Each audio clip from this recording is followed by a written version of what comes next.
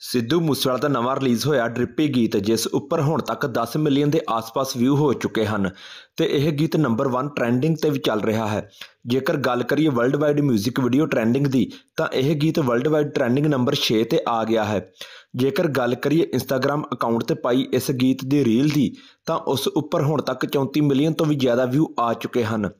ਹੁਣ ਗੱਲ ਕਰਦੇ ਹਾਂ ਸਿੱਧੂ ਮੂਸੇਵਾਲੇ ਦੇ ਯਾਰ ਤੇ ਰੈਪਰ ਸਨੀ ਮਾਲਟਨ ਦੀ, ਜਿਸ ਨੇ ਇੱਕ ਵੀਡੀਓ ਸ਼ੇਅਰ ਕਰਦੇ ਹੋਏ ਦੱਸਿਆ ਕਿ ਸਿੱਧੂ ਬਾਈ ਨੇ ਮੈਨੂੰ ਮਈ 2022 ਵਿੱਚ 18 ਗੀਤ ਸੈਂਡ ਕੀਤੇ ਸੀ, ਜਿਨ੍ਹਾਂ ਵਿੱਚੋਂ ਡ੍ਰਿਪੀ ਵੀ ਇੱਕ ਸੀ, ਜੋ ਕਿ ਸਿੱਧੂ ਬਾਈ ਨੂੰ ਬਹੁਤ ਪਸੰਦ ਸੀ।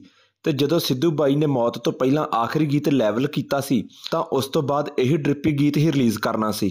ਤੇ ਮੈਂ ਤੁਹਾਨੂੰ ਇਹ ਗਾਣੇ ਬਾਰੇ ਇੱਕ ਦੋ ਕਹਾਣੀਆਂ ਦੱਸਣੀਆਂ ਸੀਗੀਆਂ ਕਿ ਜਿਹੜੇ ਮੈਂ ਇਹ ਗਾਣਾ ਮੈਨੂੰ ਬਾਈ ਨੇ ਭੇਜਿਆ ਸੀਗਾ ਪਿਛਲੇ ਮੇ ਅ, ਬ- ਅ, ਪਿਛਲੇ ਨਹੀਂ ਐਕਚੁਅਲੀ ਹੁਣ ਡੇਢ ਸਾਲ ਤੋਂ ਜ਼ਿਆਦਾ ਹੋ ਗਿਆ ਅ, 2022 ਮਈ ਚ ਮੈਨੂੰ ਅ, ਗਾਣਾ ਭੇਜਿਆ ਸੀ ਬਾਈ ਨੇ ਹਨਾ ਉਦੋਂ ਮੈਨੂੰ ਬਾਈ ਨੇ ਮੈਨੂੰ ਆਲਮੋਸਟ ਜਿਵੇਂ 15 18 ਗਾਣੇ ਭੇਜੇ ਸੀ ਲਗਾਤਾਰ ਤੇ ਉਹਨਾਂ ਚੋਂ ਆਹੀ ਇੱਕ ਗਾਣਾ ਸੀਗਾ ਤੇ ਸਾਰੇ ਗਾਣੇ ਤੋਂ ਸੱਚ ਦੱਸਾਂ ਮੇਰਾ ਇਹ ਫੇਵਰਿਟ ਸੀਗਾ ਹਨਾ ਅ, ਮਰਸੀ ਨੇ 뮤직 ਬਣਾਇਆ ਬਹੁਤ ਸੋਹਣਾ 뮤직 ਬਣਾਇਆ ਸੀ ਬਾਈ ਨੇ ਨਾ ਤੇ ਏਆਰ ਫੇਸ ਦੀ ਉਹਦਾ ਭਰਾ ਆਪਣਾ ਉਹਨੇ ਬਹੁਤ ਸੋਹਣਾ ਰੈਪ ਕੀਤਾ ਨਾ ਬਟ um, ਆਹ ਗਾਣੇ ਨਾਲ ਬਾਈ ਨੂੰ ਆਪ ਵੀ ਬਹੁਤ ਚਾਹ ਸੀ ਆ ਗਾਣੇ ਦਾ।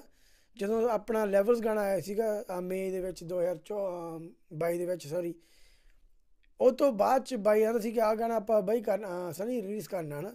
ਤੇ ਇਹਦੀ ਆਪਾਂ ਤਿਆਰੀ ਕਰੀ ਜਿੰਨੀ ਆਪਾਂ ਕਰ ਸਕਦੇ ਹਾਂ। ਉਦੋਂ ਬਾਈ ਨੇ ਕੈਨੇਡਾ ਆਉਣਾ ਸੀਗਾ ਤੇ ਇੱਥੇ ਵੀਡੀਓ ਕਰਨ ਲੱਗੇ ਸੀ। ਬਹੁਤ ਪਲੈਨਿੰਗ ਕੀਤੀ ਸੀ ਉਹ ਗਾਣੇ ਬਾਰੇ ਹਨਾ।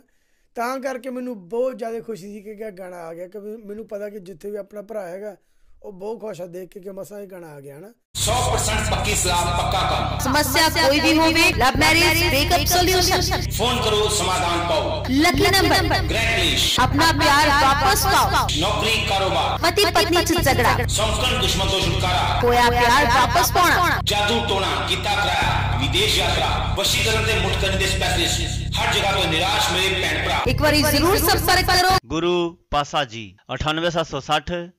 44453